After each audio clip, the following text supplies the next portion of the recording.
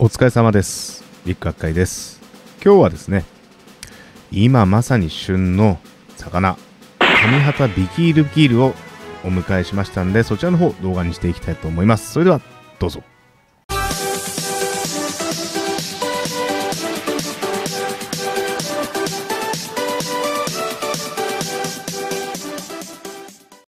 今回購入した上肌ビキールビキールなんですが、えーこちらはですね、東京は八王子にある、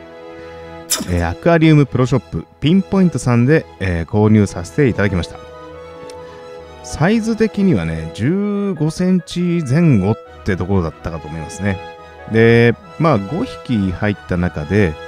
ちょっとね、私あの水槽黒いんで、なるべく色がね、茶色っぽいの出てほしいなっ、なんてちょっと思ってね、ガネサとか引いてたりとかね、あの、そこになんか引いてたりとかすると結構色が出てたりとかするんですけど、うちはね、ベアタンクなんで、ちょっとなるべく色が出てほしいんでね、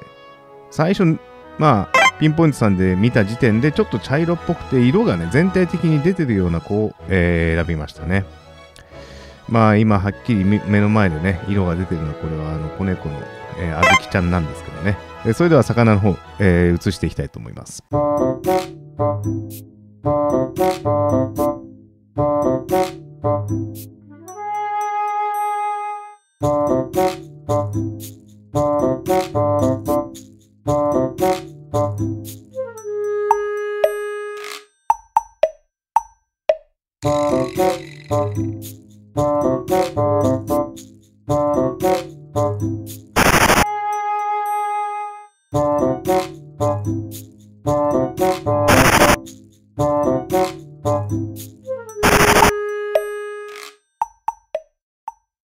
ということでね、えーお迎えしたビキルビキル、今あのプラケースに入れて見てます。まああの、来たばっかりなんでね、当たり前ですけど色は飛んでますしね。で、まあ15センチってことで外彩もまだしっかり残ってるというような形ですね。だからこれがあの、多分健康状態とか栄養とかがね、しっかりまあ摂取できるようになってくれば、外彩もかなりね、あのいわゆるウーパールーパーみたいにでかくなったりしますんでね。で、ある程度のサイズに成長すると、今度それが吸収されて、まあ、なくなるというようなね、形になります。ちょっとね、目がね、悪い目してるかなってね、あの見てて思ったんですけどね、あの目の真ん中の黒丸の前後にね、黒い、まあ、模様がちょっと入ってて。で、これ、まあ、写真で見たとき、もうちょっと茶色っぽく見えてたんですよね。まあ、向こうはね、ソイルが入ってたりとかしたんで、運んできて、まあ、プラケースに入れたばっかりだったら、まあ、こんなもんかなっていうところですね。まあ上から見るとね、えーこんな感じですね。やっぱちょっと緑色っぽいですよね。うちあの他にチャドさんのビキルビキルいるんですけどね、だいぶもう真緑というかね、深い緑になっちゃって、もう模様もなんもね、よく見えないんで、この子はね、できれば綺麗に、まあ色出てくれたらいいなと思ってるところですね。まあ、幼魚なんでね、餌をどうしようかなと。まあ言うてね、もう15センチあります。あの、幼魚のね、エンドリケリーとかだったら10センチぐらいから、まあ若干ね、メダカ食べられるかなっていうところなんですよね。ただまあ、そもそもがエンドリケリーとやっぱりビキールって最大サイズ違いますから、なるべく小さい餌をたくさん食べるようにした方が消化にはいいのかなと思ってるんですよね。だからまあ、メダカ漬けにしてもよかったんですけど、今回はね、赤ヒレの S サイズを、えー300匹ほどね、えー購入してみました。で、これじゃあメインタンク入れちゃったら、お前、赤ヒレどころか、あの15センチのビキルも食われちまうだろうってね、思う方いらっしゃると思うんですけど、まあ、覚えてる方は、だいぶね、昔から私の動画見ていただいてる方だと思うんですけどね、私ね、この水槽に、まあ、ジョーブロッカーみたいなもんなんですけどね、このリフジウム水槽っていうのをね、えー上に構えてるんですよ。水槽の上にね。で、大体こちらで幼魚を育てて、まあ、我が家の目安としてはですね、20センチを超えたぐらいになったら、メインタンクに移すというような形でやってます。一番大きなポリプテルスエンドリケリーがメインタンクの方でまあ60センチ前後。で次がビキルビキルで大体55センチぐらい。まああとはね30センチとか40センチ。40センチのやつはいなかったかな。まあ大体それぐらいなんですよでガーが50センチぐらいであと錦鯉も50センチアロワナもね多分55ぐらいはあると思うんですけどね大きい方はまあそういった中にね入れるのにまあ、今までずっとね、20センチぐらいで入れて、何の問題もなく公演できてます。ポリプテルスに関してはですけどね。ただ、タイガーショベルノーズじゃないな、ゼブラキャットか。昔入れた時は、あれも15センチから20センチあったんですけどね、食べられちゃったりして。だから、相性によっては、そもそもね、まあ、公演するのにサイズがどれぐらいっていうのは、まあ、あるのかなと。まあ、我が家のマイルールですけどね。マイルールとしては、20センチ、ポリプテルスが超えたら、えー、合流させても特に問題ないというような形ですね。まあ、小さい時からね、みんな一緒に飼ってますんで、もしかしたらその辺がね、いいのかもしれないですね。ワイルド個体とか、そっちの個体、あるいはね、えー、よそでどうやって飼育されたかわからない、ある程度のミドルサイズか制御サイズになった個体は難しいかもしれないですよね。ちっちゃいの食べちゃうかもしれない。だからまあ、その辺はね、あのー、よくご自身で検討していただきたいんですけど、まあ、今回はね、20センチを目標にして、この赤ひれ S サイズ300匹、えー、とりあえず入れてみました。このね、リフジウム水槽、奥行き、えー、250あります。で、高さも250。で、幅はもちろん1500水槽に合わせてるんで1500と、まあ、いうような形で真ん中ぐらいで仕切ってね、えー、左半分、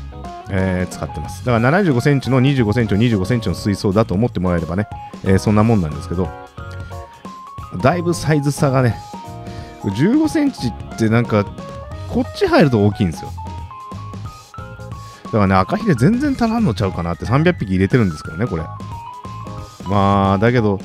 とりあえずね幼魚のうちは大きくしたいんだったら、まあ、魚をね食わせろっていうのと餌切れは起こさせるなと、まあ、いうのもあるんで人工飼料を与えるのもね、えー、いいと思うんですけど私はやり方としては基本的には生き餌をメインで幼魚のうちは育てた方がいいかなと、えー、思ってますでまあ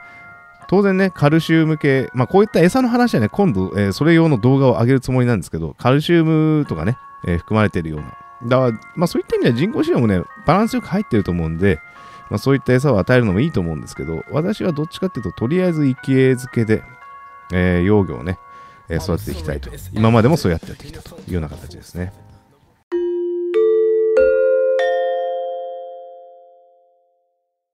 はい。ということで、導入してから10日後ということになるんですが、だいぶ色出ましたよね。まだ緑っていうか、茶色と緑の間ぐらいかな。まあ、来た時はね、もうもっと真っ白だったんで、ずいぶんいい色になってきたんじゃないかなと。まだね、模様っていうかね、あの、ブロッチみたいなのとかね、柄は全然見えないんですけど、まあ、結構ね、いい具合に成長してくれて、10日でなんかしっかりしてきたなって、もう日に日に見てる、見る間に大きくなっていく感じですよね。だからやっぱり、あの、それで、何ていうんですか、ポリプテルスの中でもやっぱり細長いタイプなのかなっていうのね、まあ、ツイッターでもおっしゃってる方いますけど、まあ、エンドリケリーなんかっていうのはね、大体ね、食べてお腹ぼっこり膨らんで、太く太くなりながら長くなってるんですけど、この子全然太らないですね。まあ、ビキールってそういう種類なんでしょうね。まあ、長くなる。細長くなると。この子をね、太く育てるには一体どうしたらいいんだろうなんてちょっと思ったりもしましたけどね。そういうのも考えながら餌やりしてみるのも面白いですけどね。ちょっとじゃあプラケースにね、移して見てみたいと思います。はい。ということでね、えー、プラケースの方に移してみました。これあの動画ですよ。全くこの子動いてないけど動画ですからね。ライト動いてるの分かるでしょ。ずいぶんこうやって見ると緑になりましたよね。ちょっとね、初日のやつ持ってきますよ。ちょっとだけ左上に持ってきてみました。だいぶ色濃くなりましたね。これ10日後ですね。右。右っていうかメインの方がね。えー、10日後。で、ちっちゃい方はね、えー、来てすぐ。もう初日ですよね。やっぱりだいぶ変わりますね。まあ、1週間、10日で、まあ、随分落ち着いたのかなっていうところ。外祭はね、言うてそこまで変わんない。まあ、ちょっと伸びたかなっていうところですよね。まあ、だからしっかり、まあ、餌は食べられてるのかなと思っていますけどね。これをだから、餌を切らさずずっと続けてたらね、手元でこのサイズから育ててどれぐらいになるのかなって非常に興味がありますよね。今でね、これ10、多分ね、7センチぐらいかな。17、8ってところですね。10日後で。もうちょっと先見てみましょう。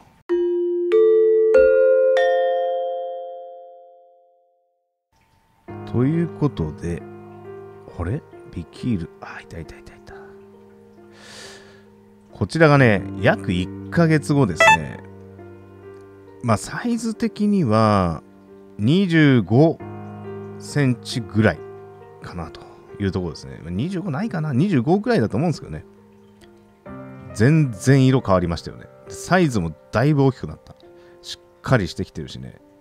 模様がもうなんかうっすら見えてますよね。と、あと頭の部分が発色？あれ？これなんかちゃんと色出んじゃねえのっていう感じの発色してません？なんかね、薄いラインと濃いラインの境目がしっかりしてて、これね、私最初傷ついてんのかなと思ったんですけど、どうやらそうじゃなくてですね、あの、顎のところなんかちょっと傷はついてますけどね、そうじゃなくて、どうやらね、これちゃんとした模様みたいなんですよね。たまにポリプとかってスッて白っぽくなっちゃう時あるじゃないですか。頭のとことか特にね。掃除してる時とかあのちょっと手が当たったりとか魚同士ぶつかったりどっかこすってね。そういうもんかなと思った。ら実はそういうもんじゃないっぽくてずっとこのまんまなんで多分これこのまんま色出るだろうと。黒底面黒でねだからこれでこのまんまいってくれたらめちゃくちゃかっこよくなんじゃないのってちょっと思ってますよねだから今回の紙は今回のなんですか？このロットの紙旗ビキールはかなりおすすめなんじゃないかなと思ってるんですよね。まあ先日のね、えー、ちょうど今日が終わりなのかな？動画のね、上がるタイミングはちょっとあれですけど、多分ね、この動画が上がるときにプレゼント企画が終了ぐらいのタイミングなんですけど、あの、神湯さんがプレゼントしてくれる紙旗ビキール。1ヶ月ぐらい経つとこれぐらいになります。大体。で、長さがだから25センチで、これぐらいのカラー。まあ、もちろんね、同じロットでも個体によって、えー、個性様々でしょうから、全く一緒ってわけにはいかないと思うんですけど、まあ一つのね、目安にしていただいていいのかなというところです。だから今回の上旗ビキールはね、かなり期待できるんじゃないかなって思ってます。まあさすが本間店長ですね、えー、僕がなるべく茶色っぽいの入れてくださいって、あの、ピンポイントさんのね、えー、本間店長にお願いしたら、もうバッチリいい子が入ってましたね。ということで、えー、今回の動画ですね、えー、この辺で終わりにしたいと思います。上旗ビキールまだね、扱っているところ、ちょっとね、探して、もしあったら、まあ、ホームページか何かをね、えー、ちょっと貼ったりとかね、説明欄にしておきたいと思いますんで、え、気になる方、ぜひね、チェックしてみてください。え、今回もご視聴誠にありがとうございました。えー、もしこの動画気に入っていただけたらですね、ぜひチャンネル登録、高評価、コメントの方よろしくお願いいたします。それではまた次回の動画でお会いしましょう。さようなら。